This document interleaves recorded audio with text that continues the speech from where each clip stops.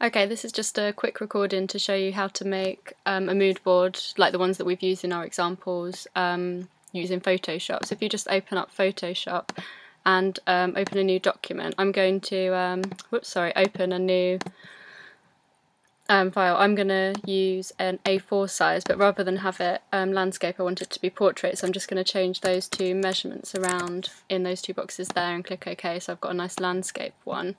Um, before I actually started in Photoshop, what I did was made a folder of um, images um, on my desktop that just had all the images I'd found online um, that I wanted to include in my mood board, and I like just quickly listed the websites in my blog post um, so that I had them for later. Um, so if you do that first, it makes it a bit easier because then you can put it all together at once. And then I'm just going to drag each of these images into um, Photoshop and if you click on the move tool up here um, just as soon as you drag it in and click place that will just make sure it's um, placed in the image then if you want to resize it because obviously they're going to be varying in size when you first put them on and we need to fit all of them in there and I've got quite a few images as you can see. So if you just hold down the shift button and hover around that bottom corner till you get that two-way arrow and then just simply drag it it will keep it in scale if you hold down the shift key. And then you can just place it where you want it. So I'm going to put that first one in the top corner and then if you just click on another thing and click apply so that just means it's going to stay in the same place then that will be done. If you just keep doing that so dragging each of the images into it and then you should by the end of that end up with all of your images dragged into it. So obviously I've done quite a chaotic kind of arrangement. You might want to make it a little more gridded. It's up to you. That's where you can sort of allow yourself to play around with it a bit.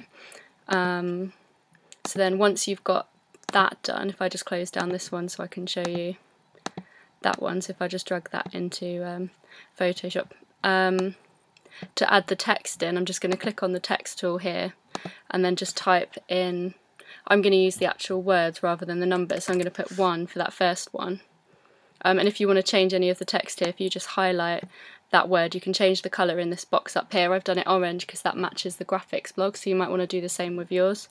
Um, and then I've just picked Helvetica because it's quite a clear font and I've done it about size 18 so once that's your typed and it's how you want it if you haven't got it in quite the right place if you hover around it till you see this symbol um, with the little cross you'll be able to just move that up and down and place it where you want. And again just go through and do that for each of your um, things. So I've gone all the way along and done that. And that's my finished one here.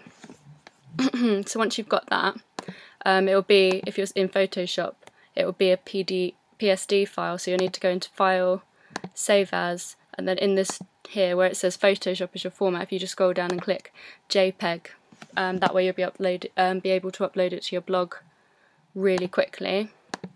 And then once you've finished it and it's uploaded onto your blog, if I just show you um, mine here, so I've uploaded it here, and then I've just made a list, oops, underneath um, that just says 1, so that's corresponding to the number. So if you use, you know, if you use a normal number like that, it would just be that.